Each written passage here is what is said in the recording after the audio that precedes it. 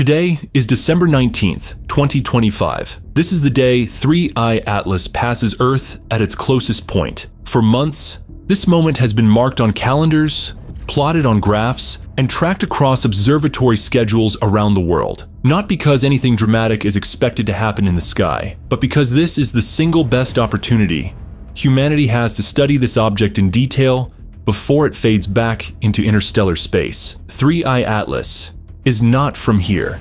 Its orbit confirms that clearly. It is unbound to the Sun, moving on a hyperbolic trajectory that carries it straight through our solar system and back out again.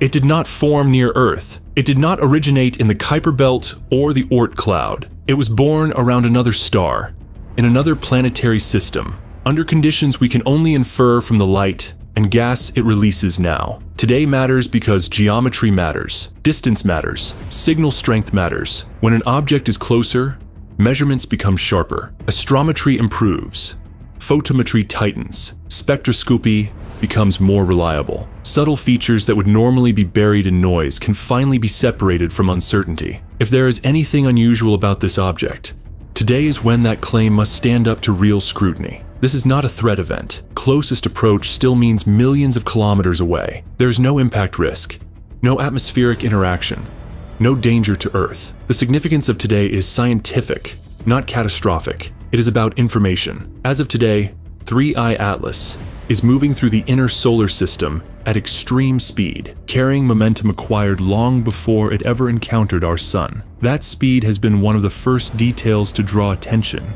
not because high speeds are impossible in space, but because of how cleanly that speed has been maintained under strong gravitational influence. Normally, objects entering the sun's domain show measurable changes in motion. Their trajectories curve, their velocities shift, and their behavior becomes less stable. With 3i Atlas, the data has consistently shown smooth, steady motion that fits an unbound passage rather than capture or disruption. That alone already places this object into a rare category. True interstellar visitors are uncommon. We have only identified a small number so far, and each one teaches us something new about how planetary systems beyond our own form and evolve. What makes today especially valuable is that 3I Atlas is active, unlike the first interstellar object detected in 2017, which appeared relatively inert, this object shows a coma and signs of outgassing.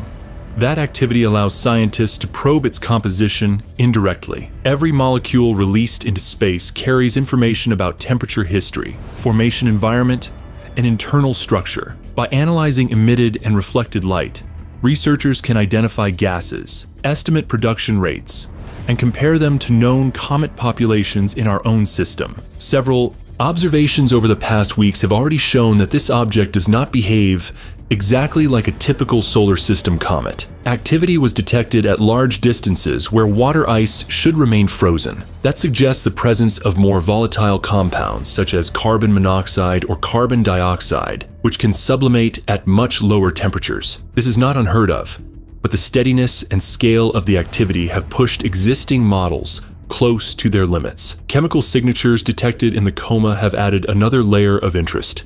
Some measurements have indicated unexpected ratios between elements and compounds, hinting at formation conditions different from those that shaped most local comets. These results have been carefully checked, rechecked, and compared across instruments because chemistry is one of the most reliable fingerprints of origin. If confirmed, these signatures help build a picture of what other protoplanetary disks may look like elsewhere in the galaxy. Today's observations are focused on confirming, refining, or rejecting those early findings. This is where science becomes slow and disciplined. Claims do not become facts because they sound interesting. They become facts when independent observers, using different instruments at different locations, measure the same thing, and arrive at the same conclusion. That principle matters more today than at any other point in this story. As closest approach occurs, telescopes around the world are tracking brightness changes over time, mapping the structure of the coma, and looking for consistent tail features. Small variations are expected. Dust responds to solar radiation. Gas interacts with the solar wind.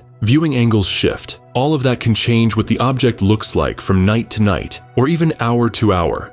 The challenge is separating real physical behavior from geometry and perspective. This is why responsible observers avoid drawing conclusions from single images or isolated clips. A structure seen once may disappear in the next frame. A brightness dip may reflect changing phase angle, rather than intrinsic dimming. Only patterns that persist across time and location deserve serious attention. For most people watching today, 3I Atlas will not be visible with the naked eye. That is an important expectation to set. This is not a bright spectacle in the sky. It is a faint target, best observed with telescopes and, in many cases, imaging cameras. Through a telescope, it typically appears as a small, diffuse patch of light. Through long exposure imaging, more detail can be extracted, but it remains a scientific object rather than a visual showpiece. If you are attempting to observe it yourself, success depends on preparation rather than luck. Accurate coordinates are essential. Updated ephemerides matter. The object is moving,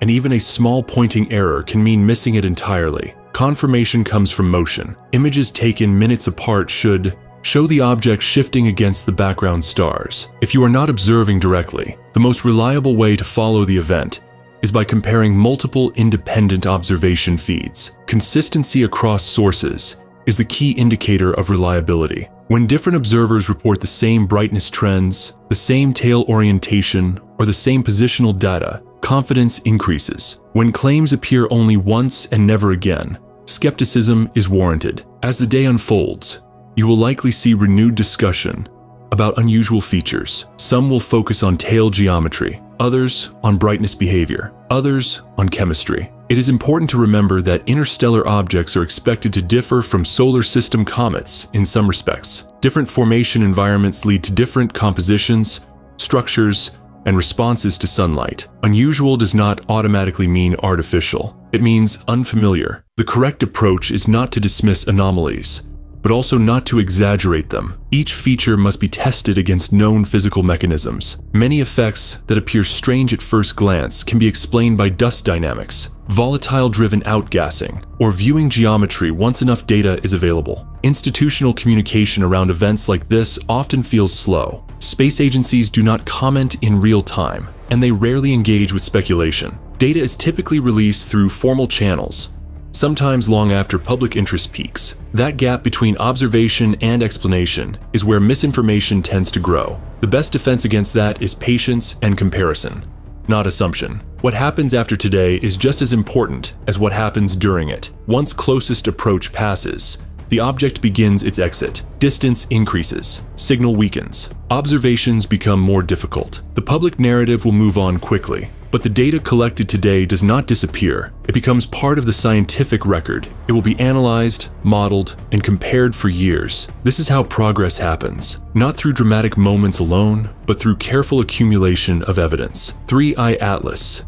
is valuable not because it confirms any particular theory, but because it expands the range of known possibilities. It forces models to stretch. It exposes gaps in understanding. It reminds us that our solar system is not a closed box, and that material from other stars can and does pass through our neighborhood. Today is rare, not because it is dangerous or mysterious, but because it is precise, a narrow window where geometry, timing, and technology align. A moment when humanity can directly study matter formed far beyond the sun's influence without leaving Earth. If you are watching today, you are participating in that moment. Whether through a telescope, a live feed, or data updates, you are witnessing a brief intersection between our world and another star system. As the hours pass, focus on what can be confirmed. Watch how measurements evolve. Pay attention to patterns that repeat. Be cautious with conclusions but open to surprises that survive scrutiny. By tomorrow, 3I Atlas will already be moving away. The sky will look the same to most people, but the record of today will remain, and what we learn from it will shape how we understand future visitors. This is not about spectacle.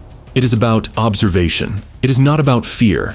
It is about curiosity. And today, that curiosity has its best chance to be answered.